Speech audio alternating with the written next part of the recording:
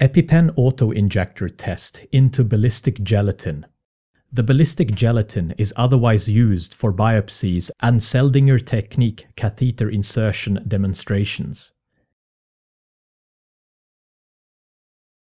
The epinephrine is deposited superficially to the needle tip.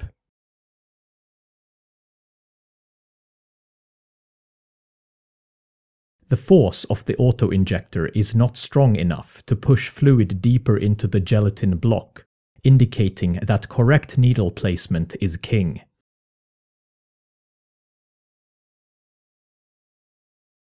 The majority of the epinephrine is deposited within the first split second, so get it right fast or your patient is going to continue to have a bad day.